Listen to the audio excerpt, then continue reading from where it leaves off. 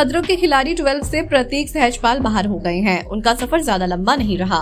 Show में contestant खतरनाक stunt करते दिख रहे हैं। इस सीज़न को भी दर्शकों का खूब प्यार मिल रहा है। आने वाले एपिसोड में स्टंट के साथ साथ ड्रामा भी देखने को मिलेगा। शो में अभी तक तुषार कालिया, मिस्टर फैजू, मोहित मलिक, रूबीना दिलैग और स्मृति झा मज़बूत कंटेस्टेंट के रूप में सामने आए हैं। मेकर्स ने एक प्रोमो वीडियो रिलीज़ किया है, जिसमें रूबीना और मोहित एक दूसरे से झगड़ते दिखते हैं। स्टंट को लेकर उनके बीच बहस हो जाती है।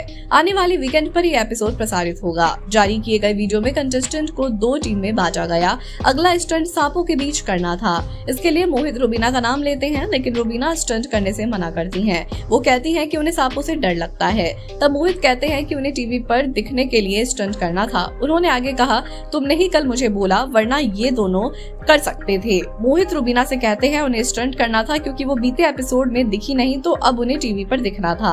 तब मोहित पर भड़कते हुए रूबीना ने कहा, तुम्हें लगता है कि मैं ये सब दिखने के लिए कर रही हूँ।